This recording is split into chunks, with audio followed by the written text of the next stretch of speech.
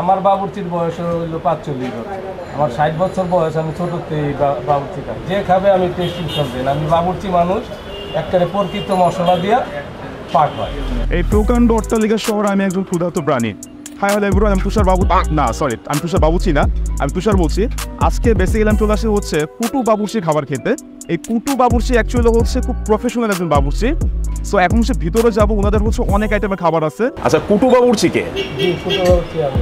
আপনি মাশাল্লাহ আপনার দোকানে বয়স কত আঙ্কেল? দোকানের বয়স পনেরো বছর।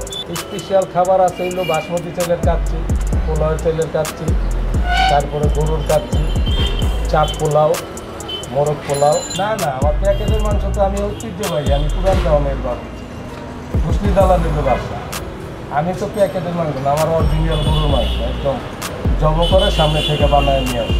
যে খাবে আমি টেস্টিং করবেন আমি বাবুর্চি মানুষ একবারে প্রকৃত মশলা দিয়া পাক হয় আমার বাবুর্চির বয়স হইল পাঁচচল্লিশ বছর। আমার ষাট বছর বয়স, আমি ছোটোতে বাবুর্চি খাচ্ছি আর এখানে হলো স্পেশালভাবে বিয়ে বাড়ির বাসমতি চালের কাচ্চিটা শুক্রবারে। শুক্রবারে আমি তিন পদের কাচ্চি রাখি, যে যেটা খায়। আর লেগে শুক্রবার দিন স্পেশাল বাসমতি চালের কাচ্চিটা পাবে। লোকেশনটা হলো হাতিপুর বাজারতে একটু আগে আসলে বাটা সিঙ্গেলের দুইটার মাঝামাঝি।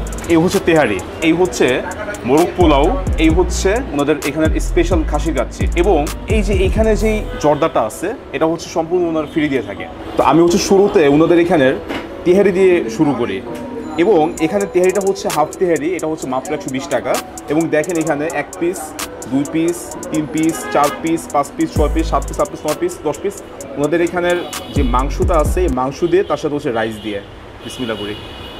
ওনাদের এখানে হচ্ছে মশলা পরিমাণটা একদমই লিমিটেড আমি যখন হচ্ছে এখানে ঢুকছি, ঢুকার পরে মানে আমি তো দেখছি এবং আপনাদের চোখে পড়বে, দেখা আছে যে টেস্টিং সল্ট মুক্ত। মানে খাবারও হচ্ছে ওই রকম এক্সট্রা যে একটা সল্টি ফ্লেভার থাকে, ওই সল্টি ফ্লেভারটা আপনি পাবেন না। সো আমি যখন হচ্ছে এই তেহারিটা মুখে নিলাম আমি তখনই বুঝতে পারছি। এবং টেস্টটা আলহামদুলিল্লাহ বেশ ভালো। এবার খাব হচ্ছে ওনাদের এখানের মোরগ পোলাও। আমি খাওয়ার আগে একটু সাইডে ঝোল নিয়ে নিই। আপনি চাইলে এভাবে ঝোল দিয়ে দিবে এবং এ হচ্ছে রাইস হালকা তেল দিয়ে রান্না করা। আর তার সাথে হচ্ছে এক পিস ডিম থাকবে, একটা মুরগির পিস থাকবে, এবং এটার দাম হচ্ছে একশো পঞ্চাশ টাকা। আচ্ছা আমি রাইস দিয়ে এবং তার সাথে হচ্ছে একটু ঝোল মাখিয়ে খাই। আমি যখন এই খাবারটা খেলাম মানে এই এই ঝোল দিয়ে যখন আমি মুখে নিলাম, আমি ফার্স্ট বাইটেই না আমার কাছে মনে হয়েছে যে আমি মানে একদম অরিজিনালি বিয়ে বাড়ির খাবার খাচ্ছি। সিরিয়াসলি মানে খাবারের টেস্টটা হচ্ছে এই লেভেলে ওনারা নিয়ে গেছে। যেহেতু উনি নিজেই খাবারটা প্রসেসিং করে, নিজেই রান্না করে দ্যাটস ওয়াই খাবারের টেস্টটা কিন্তু ওই লেভেলের এবং আমি শুরুতে একটা কথা বলছি যে যেহেতু এখানে টেস্টিং সল্ট ইউজ করা না, তো সেই ক্ষেত্রে খাবারের টেস্টটা কিন্তু একটু অন্যরকম লাগবে। এটা হচ্ছে সোনালি মুরগি। একটু মাংস ছিঁড়ে নিলাম, ঝোল, আর তার সাথে হচ্ছে রাইস স্মেলটা জাস্ট অস্থির, আলহামদুলিল্লাহ।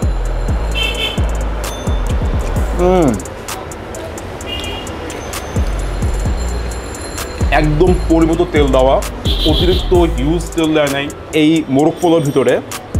এক পিস মুরগি মাংস, একটা ডিম, যেটা সচরাচর বর্তমানে দেড়শো টাকার ভিতরে মানে এটা পাওয়া যায় না মানে ডিম তো দিবেই না, ডিম দিলে হচ্ছে একশো সত্তর কিংবা একশো ষাট রাখবে। এটা তো ঠিক আছে, একশো পঞ্চাশ টাকার ভিতরে হচ্ছে মুরগির মাংস সহ ডিম বাট আরেকটা মজার বিষয় হচ্ছে, আপনি এখানে এই খাবারের সাথে হচ্ছে খাবার শেষে মুখ মিষ্টি করার জন্য বোরহানি তো খেতে পারেনি, তার পাশাপাশি হচ্ছে ওনারা একটা জর্দা টোটাল ফ্রি দিবে। অ্যান্ড দেন ফাইনালি আমি খাব হচ্ছে ওনাদের এখানের শাহি খাসির কাচ্ছি এই প্ল্যাটারের দাম হচ্ছে অনলি দুশো টাকা।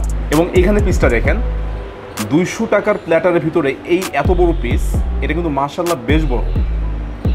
ওয়াও মানে আমি এটা ধরলাম মানে ইট ওয়াজ জাস্ট টন আচ্ছা এইখানেও কিন্তু এক পিস ডিম দিয়ে দিলে। মানে খুব মজার বিষয় না এটা? যে প্রতিটা খাবারের ভিতরে হচ্ছে ডিম দেওয়া। মানে এই জিনিসটা কিন্তু আমার কাছে খুবই ভালো লাগতেছে। যে মোরগ নিচ্ছে ওইখানে ডিম দেওয়া এবং খাসির কাচ্চি নিলাম, এখানেও ডিম দেওয়া। এটা কিন্তু শুধুমাত্র আমার জন্য না, এটা হচ্ছে যদি আপনারাও আসেন আপনারা হচ্ছে এখানে ডিম পাবেন এবং আমার এখানে যেই পরিমাণ খাবার দিচ্ছে, একদম হুবহু সেম আপনারা ওই পরিমাণ খাবার পাবেন। সো এবার হচ্ছে রাইস আলু আর হচ্ছে খাসি মাংস পিস